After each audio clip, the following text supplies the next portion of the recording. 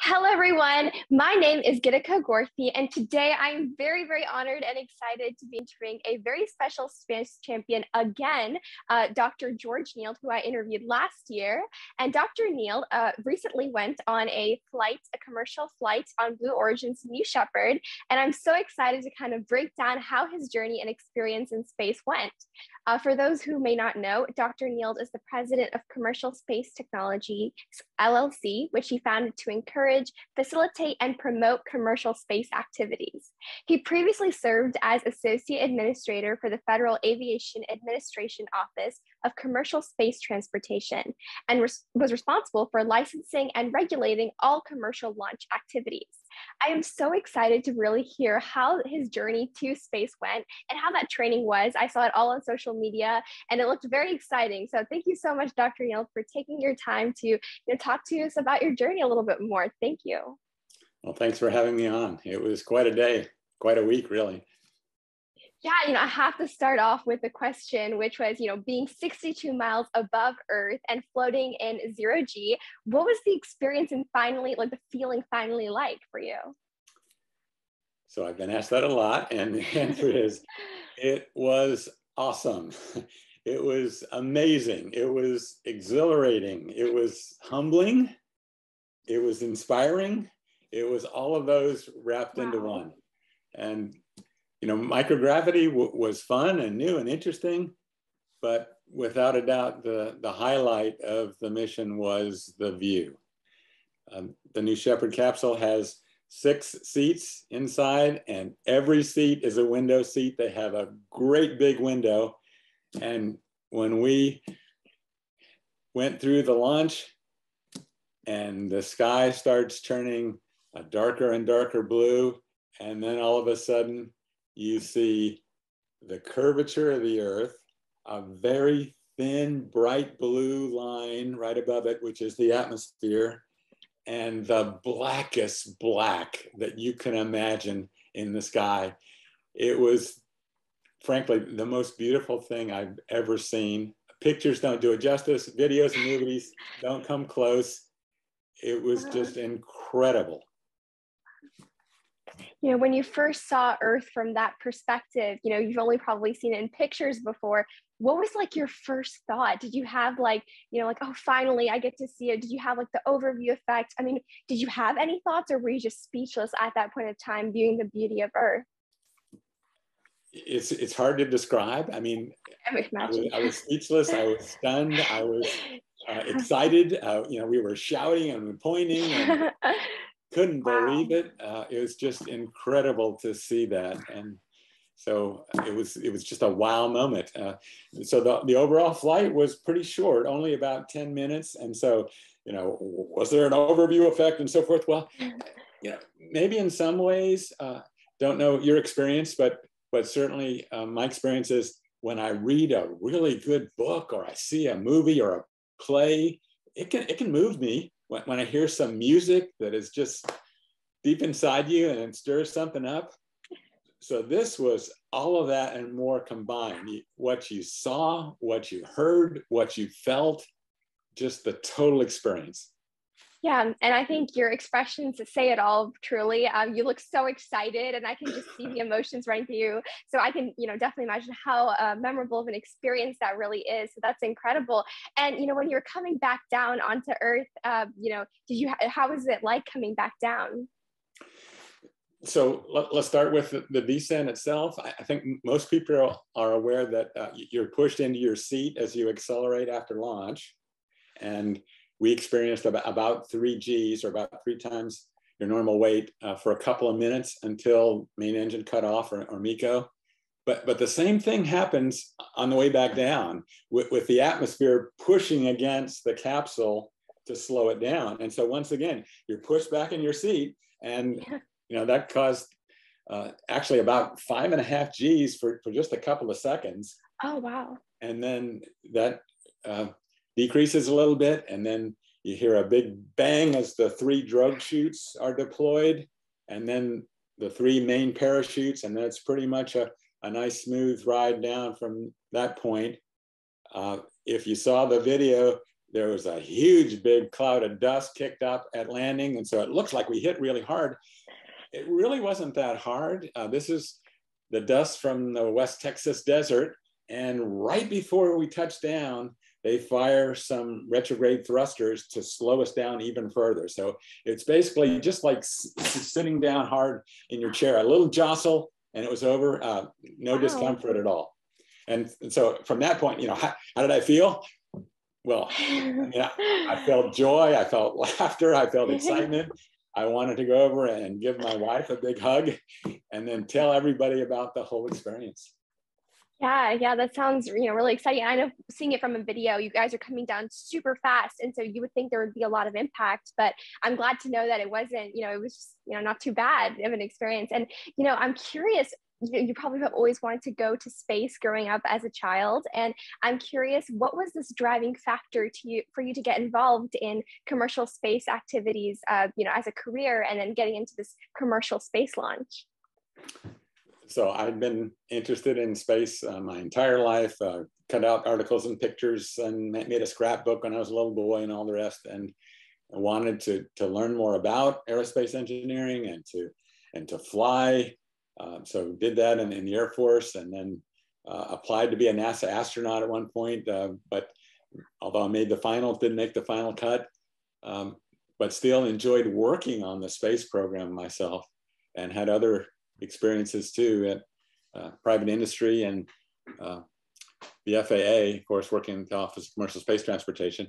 And I was seeing some really fun things happening in industry with reusable launch vehicles and space tourism and spaceports. And that was really fun and interesting to work on. But uh, when, again, now we, have got three companies now that are selling tickets for people yeah. to go into space SpaceX, Blue Origin, and Virgin Galactic.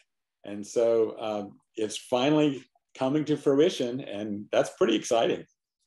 Yeah, and you know, could you share with us? Um, you know, I've read a lot about the value of commercialization, and I'm a huge fan because I think it opens up so many doors to providing more job opportunities, but also increasing accessibility into space overall. But I, am, you know, just curious to hear it from you. Why do you think commercial uh, space is so important? So uh, again, it used to be that almost everything that happened in space was being done by the government. And now that is no longer the case. And I think one of the reasons for that is we're seeing that the private industry can, can do things at, at lower cost. They can do things with increased innovation compared to the way the government typically doesn't. I think many companies have a, a, greater risk tolerance. They're, they're willing to, to try something, not to be unsafe, but to, to allow failure to occur so you can learn from that failure and incorporate modifications in their designs. And then uh, companies have the ability to, to develop and, and offer new products and, and have new customers and new markets. You know, that's not the government's job to do that. And similarly, uh, companies have the ability to raise uh, new sources of funding and investment. Again, the government doesn't look at that. They use tax dollars to do their programs and they get congressional approval and so forth. But um, this is such an exciting time because we're seeing lots of companies now, uh, for a variety of reasons, say, hey, this is something we want to be involved in. And whatever their particular mission of learning more about the earth or the universe or selling tickets to people to have that experience, uh, we're, we're seeing all of that take place now. Yeah. And do you think this is kind of the, you know, I don't want to say it's like the pinnacle, but like a really, do you think this is how a commercial space is going to be, where it's mostly focused on space tourism? Or do you think there's still a long way in the commercialization of the space industry and there's still a long way for SpaceX, Blue Origin, and Virgin Galactic to, you know, take commercialization to another level? Like, what are your thoughts on this? So we, we've seen a lot of progress uh, just in the last uh, nine or 10 months, obviously, with the three companies now taking people to space. But I, I don't think space tourism is going to be the sole focus. There's lots of different ways that, that space can matter. And uh, again, th these are not uh, big surprises. There's, there's national security implications. There's uh, reasons to want technological leadership in the world community or to have economic competitiveness so that uh, we can uh, have good progress um, products that, that others would like to have. Um, scientific discovery is still there, uh, exploration, and then inspiring the next generation. All of those are, are great reasons for, for countries and for governments to have space programs. What's new now is both companies and wealthy individuals, frankly, uh, may have their own reasons, which can include some of those, or they think they can make money doing this, or they might just believe in the importance of space to the future. And, and look at some of the examples. Uh, Elon Musk talks about the need for us to be a, a multi-planetary species. Uh, if you listen to Jeff Bezos, he would love to see humanity get all of, of the polluting industries and other heavy equipment and things off the planet so that we can protect and enjoy our life here on Earth more. Um, Richard Branson talks about uh, having a, a, global space lines. Again, we can go from one place on Earth to another more quickly, less expensively, and, and that'll hopefully bring us all together as, as a species. So uh, lots of reasons. And some of these people are, are writing their own checks and, and making it happen. And there's a lot of people who are interested. Yeah, so many visionary thoughts and ideas, I think, is just like unimaginable a few years ago, but now it's starting to become a reality. And I think that's so exciting. Um, and, you know, I you know, didn't ask you about your crewmates, but I read about every single one of, uh, you know, everyone who went on the flight, and everyone's incredible in their own way with their own drive and mission and purpose in the industry, uh, whether it be through education or actually, uh, you know, in mechanical and engineering, uh, designing the actual flight you guys went on, which I thought was very exciting. So I'm curious to hear how was the whole training process to go to the flight, uh, to go to space, and you know how was the experience with your other crewmates? So it was um, very positive. Uh, we had had a few Zoom calls ahead of time just to see the faces and read each other's bios and things. But when we actually went down to Texas, it was like uh, five days before the scheduled launch date. That was the first time that we actually got to meet one another face to face, and it was a, it was a great team, as you mentioned completely different backgrounds, but we shared this interest in and love for space and the desire to do things. Uh, again, one of the women uh, was involved in a nonprofit to help inspire uh, kids and especially girls to get into STEM education and, and space things. Uh, another person taught uh, entrepreneurship at the University of North Carolina, and he was a, a world traveler, uh, had actually been to every country recognized by the United Nations himself wow. at the 193 countries. And so now he was traveling to a new destination. That's so, amazing. Again, lots, lots of different backgrounds, but uh, got along really well. Um, we actually we had three full days of training itself. Um, it included um, some time in what they call the astronaut village, which was uh, really an old uh, ranch that had been converted. We had a uh, nice dining hall there and a place to gather at the end of the day. Uh, they had a fire pit. Uh, we actually lived in little Airstream trailers that were well equipped, and each person spent the week in one of those. Um, and then when it was time for the training, uh, we were driven out to the astronaut training center where they had a more um, high tech type look in terms of the architecture and, and the furniture and so forth. Uh, they had uh, classroom with, with desks and tables and lots of pictures around the walls. And then this uh, mock-up of the capsule itself that we spent a lot of time in uh, practicing getting in and out of the capsule, both under one gravity conditions on Earth and then what it would be like in microgravity to try to get yourself down and strapped in.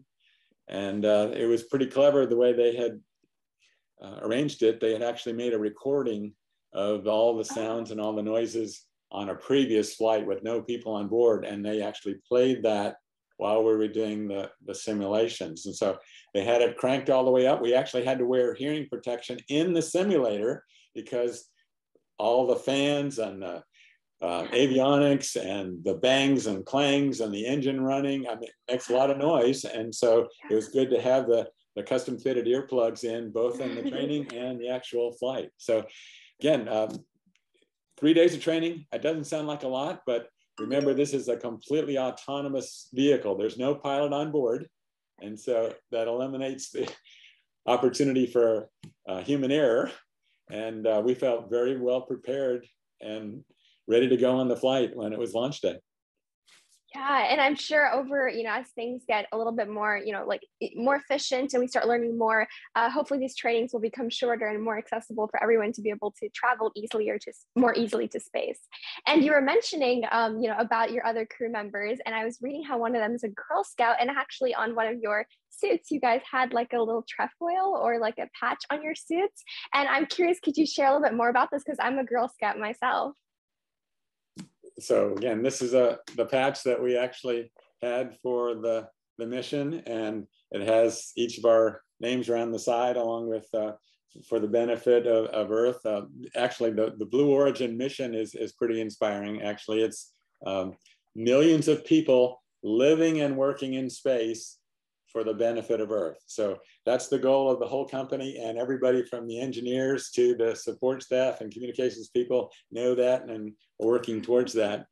Um, they make up a patch for each of the flights and, and try to incorporate some of the, the features or um, backgrounds of each of the people. And, uh, you know, whether it's uh, pointing to the, the different points on the map or some of the symbols that are uh, of special meaning to, to like Girl Scouts and those with that background. There was a, a small little circle that indicated orbits for my experience at the Orbital Sciences Corporation. And, and so lots of different uh, features that uh, if you know the whole story, then it can be a, a meaningful picture.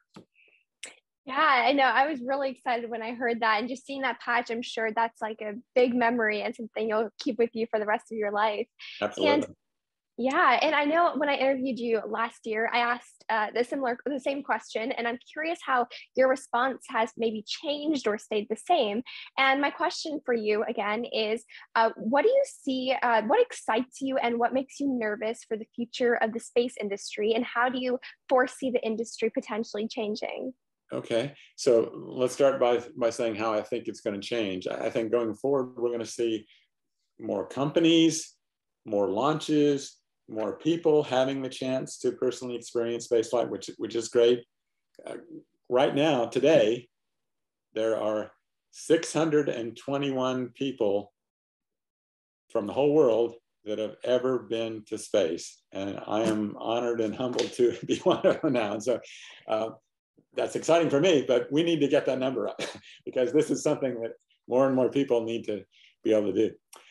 I see commercial space stations being developed and deployed, hopefully within just the next few years as the International Space Station gets to the end of its life.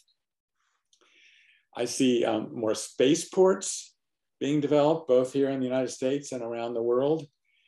And I see uh, point-to-point transportation through space becoming uh, something that is uh, here and, and available for people. And so uh, all of those things are very exciting to me uh, in terms of concerns and, and what changes the government and, and the industry may need to make. I think the government and industry also need to work together to continue to improve what the regulatory framework is for uh, partnering between government, industry, and academia, and recognizing that the space is not just for governments anymore, but we need to have a regulatory framework. It needs to be as safe as possible, especially for people not involved in the flights. Uh, it's important to note that, that there's still risk involved and accidents are going to happen just like they happen for cars and trains and boats and planes. But we want the response to those accidents to be appropriate, not just, well, let's stop everything and say never mind or, or start over. Uh, so we want to learn from that. And, and that will require, I think, us to do a better job of, of sharing information between companies and the government in terms of lessons learned and, and sharing the data when there is an accident or a mishap of some kind. And so that can really help the, the uh, industry to mature. And then uh, finally, I think there's an opportunity for us to do a better job of, of educating the general public in terms of what this space flight stuff is all about and what are its impacts like on the environment? Um, for example, uh, the way you design the vehicle matters. Uh, Blue Origin has designed this rocket to use hydrogen and oxygen as the propellants. So what's the byproduct of that? water vapor, water vapor. So yeah. uh, that's good. Uh, some people are worried about, you know, where are you going to do these? Is that going to affect my access to the beach, or is it a safety concern, and so forth? Other people are concerned about pollution or noise or impact on astronomy, things like that. So I think there's a good story to be told, but we need to do a better job of communicating that so that people understand what are the benefits that can come from this activity and, and hopefully minimize the negative impacts on other industries and other people who are not directly involved. Yeah, you mentioned some really great points there. And I definitely would have to echo the part about the educating the public because a lot of times uh, people who are not directly in the space industry always seem to question uh, why we're spending so much money on space travel. Um, and I think, you know, showing them how we can get so much technological advancements off of, uh, you know, this creativity that's happening in the space industry is so important and it directly is relevant in their own lives um, and the advancements we can make overall in like medicine not only just technology but understanding the human body better and doing experiments in space or in that microgravity environment. So i think that very you know that really excites me and i'm you know glad that you're able to bring those different points up. Excellent points yeah, and you know, what advice do you have for young students uh, regarding their pursuit of a passion of the STEM field, aerospace industry, really just any career? Um, I know I asked you this last year, and you gave really great advice. And I'm curious after this year journey of you know, had you know, you you you've been to space, you've had this incredible journey in your life, and I'm sure the past year has uh, brought forth so many different changes in your life. So I'm curious, what advice would you give for young students to continue pursuing their dreams um, and passions in STEM? So that's a great question. Uh, during their training, uh, we, we heard uh, something that Jeff Bezos has said, which I thought was pretty interesting. And, and he said, You don't choose your passions, your passions choose you. And I, I think that may well be true. Um, but it's important to recognize that you know if we do want to have millions of people living and working in space for the benefit of the earth it's going to take all kinds of people and so space is not just for test pilots, engineers, scientists, doctors, and all the rest. We're going to need mechanics, technicians, communications experts, cooks, writers, artists, musicians, athletes, vacation planners, hotel managers, all those kinds of professions. Yeah. So, my observation would be if you're passionate about space, there's going to be a place for you. So, keep at it. Yeah, that's that's an incredible saying. I love to think of space as its like own little world. And so every career you're going to need in the real world, you're going to need specifically the space industry. Um, you know, really just like you were mentioning, any career uh, you could put together with space, and I'm sure there's something out there for you. Um, so really, thank you so much, uh, Dr. Nield, for sharing this experience of going to space. I can't uh, wait till more uh, people, more civilians are able to go to space, and it starts to become even more accessible to everyone.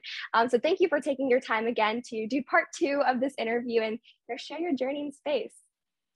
Well, thank you for inviting me, and I salute you for, for putting on this program. It's a great way to reach out and tell more people about space and how to get involved. Thank you so much.